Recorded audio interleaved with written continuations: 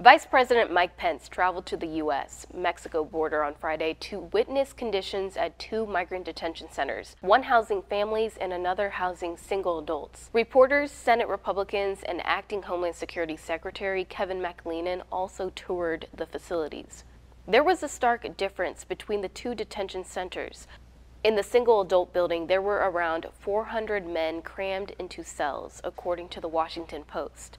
Journalists reported that migrant men screamed at them, saying they'd been held there for at least 40 days without being allowed to shower or brush their teeth. 45 days before, before taking a shower, no shower. 45 days, no shower? 45 days, ask everyone. The patrol agent in charge disputed those claims.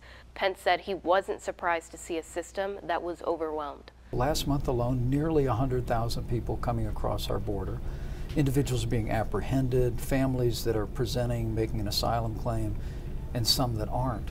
But what you saw today firsthand was the overcrowding that we knew that we would see. Meanwhile, the family detention center had more room and was air conditioned. Migrants rested on cots, watched movies, and ate snacks. Are they taking good care of you here?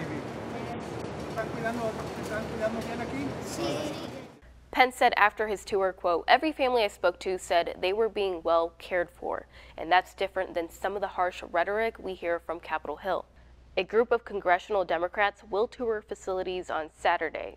Democratic Senator Mazie Hirono told CNN she was skeptical of conditions they'd seen on the tour. She said she knows what conditions are like from recent reports and, quote, when any of us visit, they will make sure that they see what they want us to see, and that's not real.